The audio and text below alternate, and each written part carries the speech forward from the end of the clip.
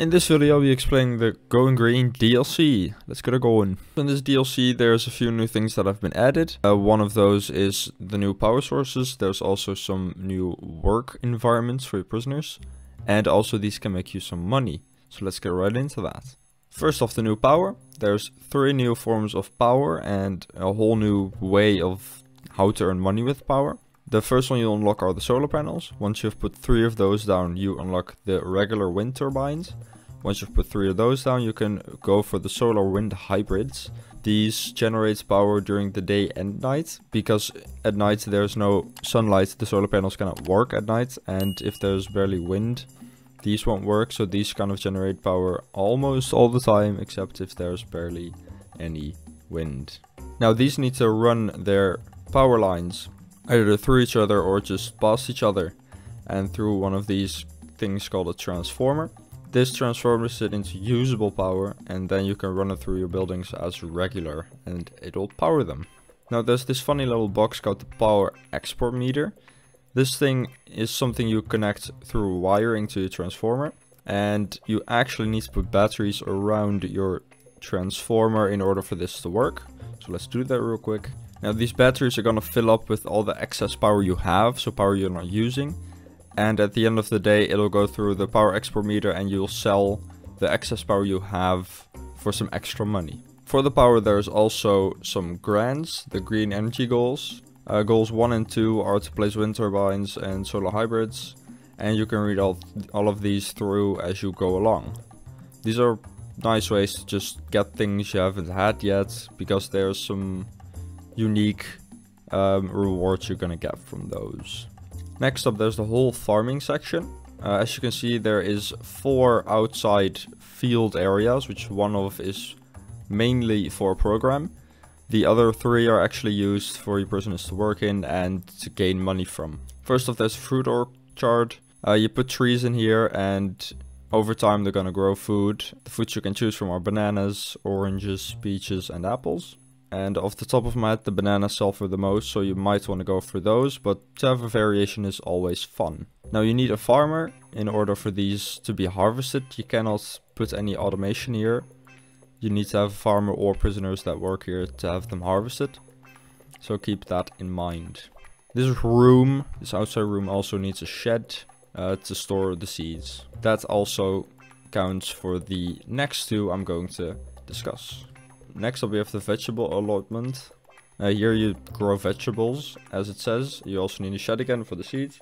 And this can be automated. As you can see I have these drip pipes. These automatically water every plant, so you don't need anyone watering them anymore. You just need to run some water past those, so they can actually start watering. In this room there are some things you can use to automate. There's a scythe, a basic gatherer and a harvester. There's some other ones I'll get into in a moment. But these can be basically used to automatically harvest and gather your crops. I tend not to use these a lot, but it's just fun if you want. Just makes the farmer a bit redundant uh, if you want that to be the case. I tend not to go for that, I just like the farmer there and the prisoner so they can actually work instead of everything being automated.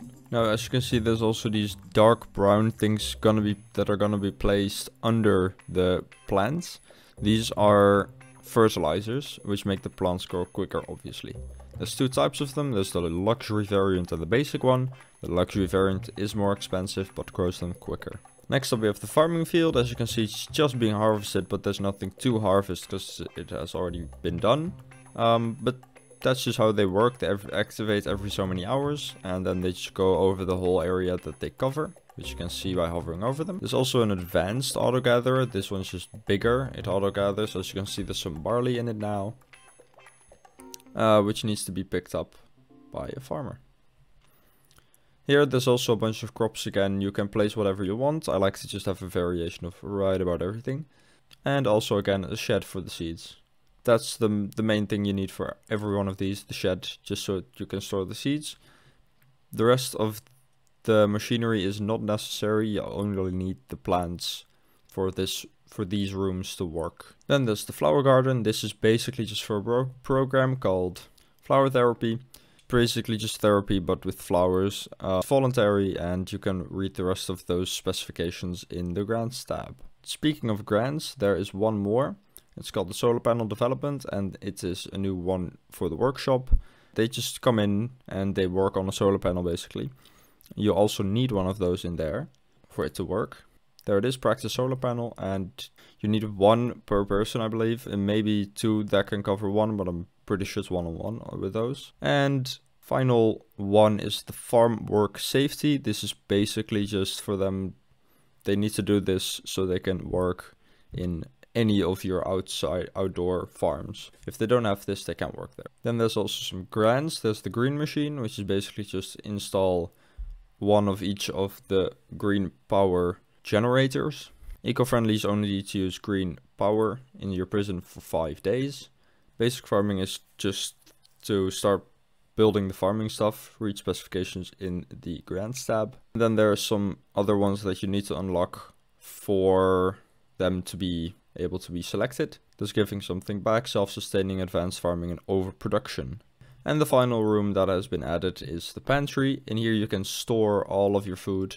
It, it'll stay well in the fridges, so make sure to build those in there as well.